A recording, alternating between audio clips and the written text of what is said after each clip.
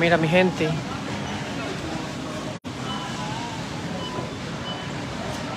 Eh, buenas tardes a todos.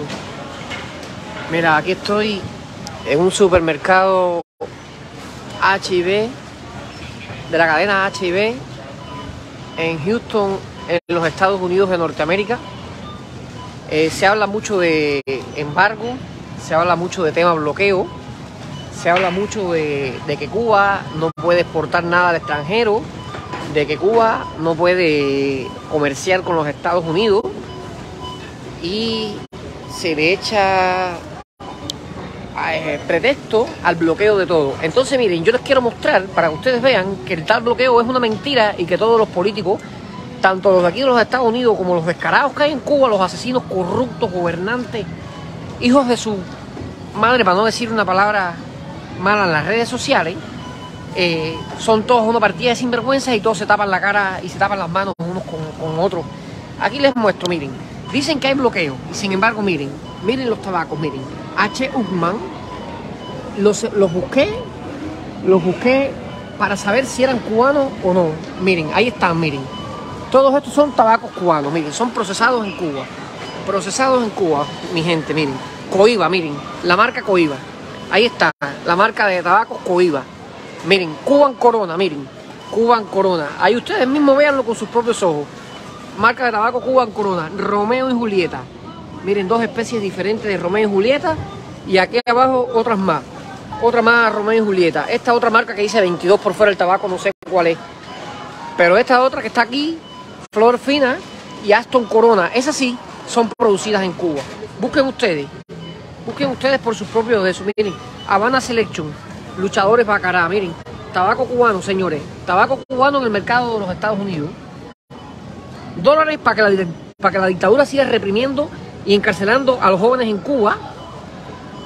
Miren, yo denuncio esto, yo denuncio esto para que ustedes vean, para que ustedes compartan esta transmisión en directo y ustedes vean este desmán.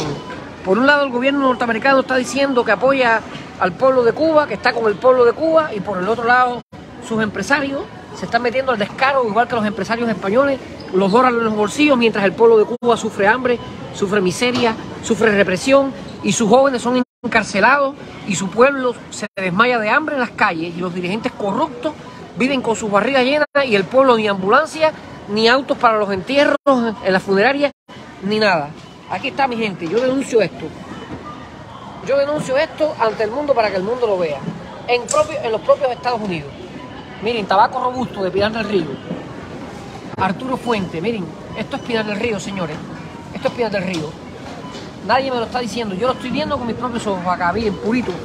Todo eso es producido en Cuba. Y el pueblo cubano sigue reprimido.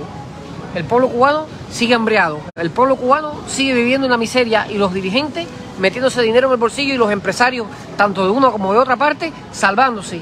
Y con ese dinero están reprimiendo a los cubanos. Miren, señores, yo denuncio esto. Yo lo denuncio. Lo denuncio para que todos lo puedan ver. Ahí está. Ahí está, miren, tabaco cubano. Nadie me lo está contando. Solamente esta marca, Texas Black Gold. Quizás no sea de Cuba, pero dice la caja H. Uckman por fuera también. Así que debe ser cubano igual. Miren, ahí se los muestro. Ahí se los muestro para que ustedes los vean. Yo había entrado varias veces aquí, pero nunca había reparado a esta esquina.